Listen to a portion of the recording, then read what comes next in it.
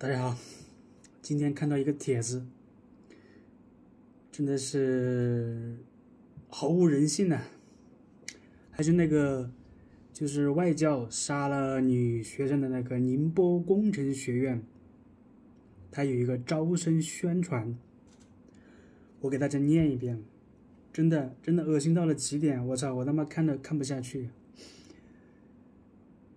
好，欢迎，那标题是欢迎二一届学弟学妹报考宁波工程学院，因为今年学校发生了不太愉快的事情，会稍微影响招生。不过这也是好机会，分数会低很多。等你们大学毕业了，都四年过去了，谁还记得这个事？网络没有记忆。所以大家尽管报考就行，不要听网上的负面言论。而且学校领导层很关心这个事情，已经找关系联系了宣传部，尽力缩小这件事情的负面影响。大家可以放心报考，一年后谁还知道这个事？而且那个学校，而且哪个学校都有命案。我靠，这个说法。而且哪个学校都有命案，其实全国各地都在发生，只不过媒体在故意黑我们，想把事情闹大而已。总之，大家可以放心报考，一年后没人会记得。而且宁工正在快速发展，而且宁波工程学院正在快速发展，不要因为某些人的恶意言论而错过宁波工程学院。我操，就就一百多个字嘛，你真的是毫无人性啊！咱们一句一句来说，好吧？欢迎二一届报考宁工。啊，因为今年学校发生了不太愉快的事情，一条人命，也许就是一个家庭啊，一个二十三岁，搞不好还是独生子女，女儿没了，人家一个家就完了，啊，极有可能是独生子女，是吧？他们学校称之为不太愉快的事情，我真的是很想提醒。这些人能看到这个视频的人，你他妈要上了这个学校，你要死在这个学校，对于人家来说，就是有点点不愉快而已，啊，这是这个是原文的啊，这个人家原文的名字叫环保少女啊，这个这个网名，感兴趣可以去搜一下啊，这个东西造不了谣的啊，然后往后面说呀。会稍微影响，呃，今年发学校发生了不太愉快的事情，会稍微影响招生，嗯，不得一条人命的。不过这也是个好机会，分数会低很多，你前后就矛盾了，是吧？完全没有智商的，这边稍微影响招生，后面又分数会低很多，这个叫前后矛盾，就叫没脑子，知道吧？写这个东西的人就智商有问题，你稍微影响，然后分数又低很多。逻辑成立吗？更搞笑的这句话来了：网络没有记忆，所以大家尽管报考就行，不要听网上的负面言论。等你们大学都毕业了，四年过去了，谁还记得这个事情？网络没有记忆，我们每天都在上演网络是有记忆的桥段。每天都扒出来哪些明星哪年撒过些什么谎，我靠，说过些什么话，吹过些什么牛，每天都扒出来这些东这些新闻，每天都在上演网络是有记忆的，他在跟你说网络没有记忆，这是纯粹的宣传。什么叫宣传？不要脸的说自己好话，这就是宣传。而且学校领导很关心这个事情，已经找关系联系了宣传部。找关系联系宣传部，尽量缩小这个事情的负面影响。大家可以放心吧，一年后谁还知道这个事情？反复强调，没过一段时间没人没人记得这个事情。反复强调这一点，而且他们在找关系，找宣传部联系宣传部，缩小这个事情的负面影响。那个女孩的父母站在学校门口，举着遗像在那儿哭诉。学校没有人去管人家父母，派保安把人家围在围在那里挡在那里，抢人家的遗照，抢人家的那个手机，那人家在拍照不让人家拍。他们对死者是这种态度，你死就死嘛，只要在网上没有人说，对我没有影响就好。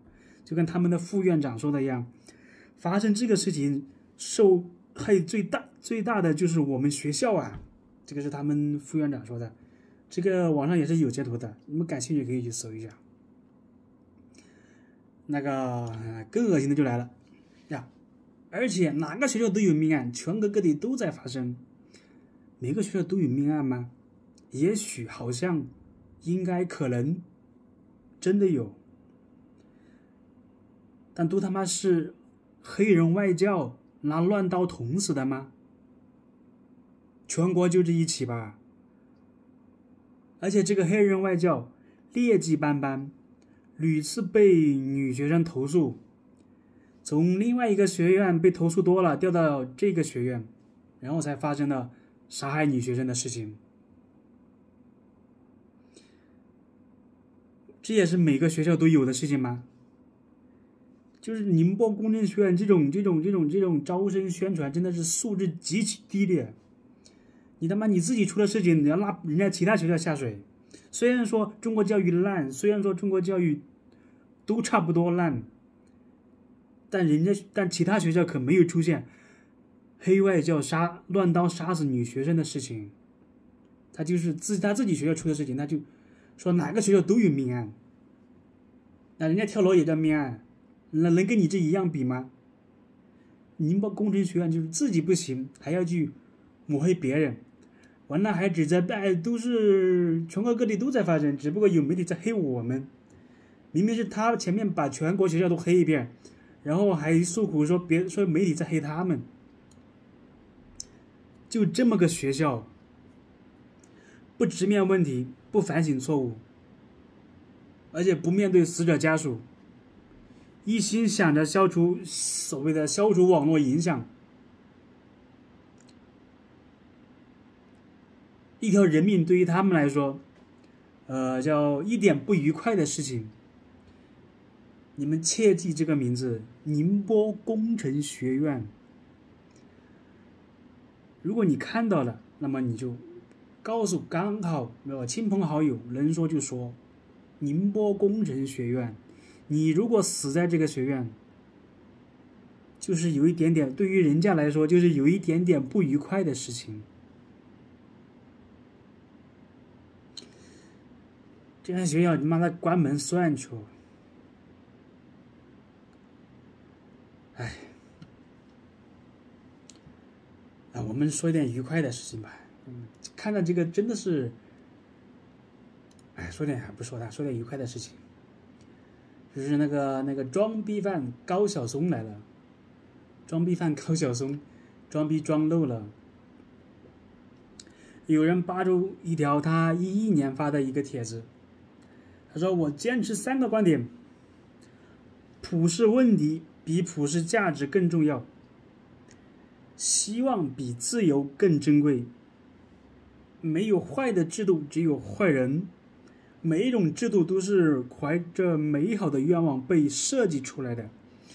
这就是高晓松，据说还是才子，还是还办了一个又一个的节目，还上了一个又一个的什么评委，还有一个什么背景不简单，他父母都不简单，什么创立了哪个什么大学。哎，我记不清楚，反正这个装，反正他们他做节目就是装逼嘛，吹一吹自己家里的辉煌历史嘛，然后吹一吹自己在国外的，呃，怎么风光嘛，然后剩下的好像我一直不太喜欢，一直无法喜欢喜欢上这个人的那个什么东，风格啊，风格也好，内容也好，反正看着起来就不爽，他说话就是那种，嗯，摇头晃脑，就有点像那个金灿荣一样。就那种傻憨傻憨的那种样子，大概今天看到这三个观点，我就觉得真的，普世问题比普世价值更重要。普世价值你我都知道是吗？是吧？普世价值什么自由、平等、正义啊，公平、正义、自由啊，是吧？大概是这么个意思吧。它普世问题是什么问题呢？什么普世问题比普世价值更重要？这高晓松装的逼，知道吧？不知道说的是什么鬼东西。还有一个什么自由和希望，高晓松认为希望比自由而重要。你连自由都没有，你希望有个屌用啊！你一头拉磨的驴，把绳子、绳套给你套起，每天在磨坊磨豆子、磨面粉，然后你有希望，我要去草原上驰骋一番，你这个希望有用吗？你他妈连自由都没有，你连去草原的自由都没有，你驰骋个屁啊！希望没有自由的希望有个屌用啊！这个这个暂且稍微有那么一点点争议，你也可以说，呃，希望是让你在没有自由的情况下可以活下去的，呃，动力呀，怎么样？哎，你可以这个可以圆得过去，但是那个没有坏的制度，只有坏的人，我觉得这他妈的就是扯淡，就是大才子高晓松的观点。高晓松坚持的是，他坚持的这个观点就是，每一种制度都是怀着美好的愿望被设计出来的。蓄奴制、奴隶主、奴隶主的蓄奴制，它是美好的愿望吗？好像是美好的愿望。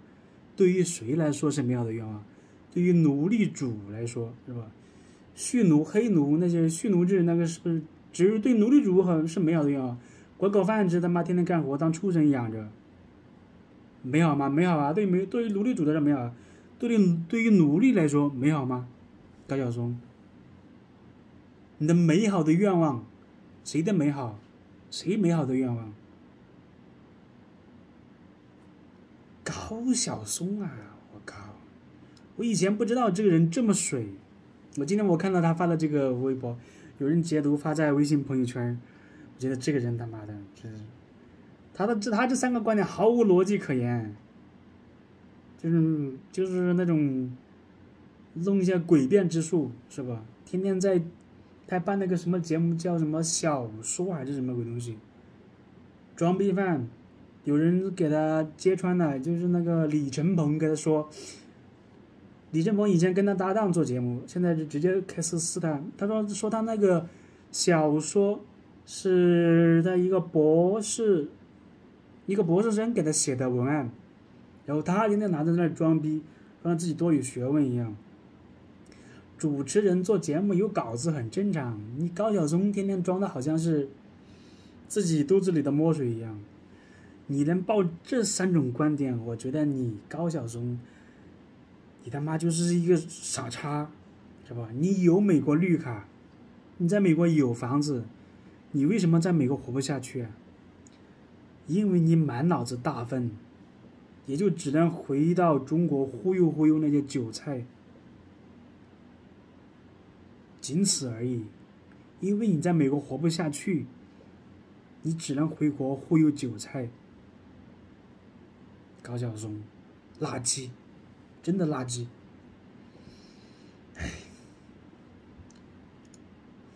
我再给他扯点其他的搞笑的，还看到好几条搞笑的东西，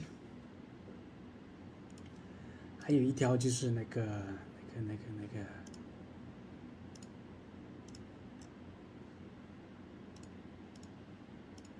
算了，不扯了，今天就扯这么多吧。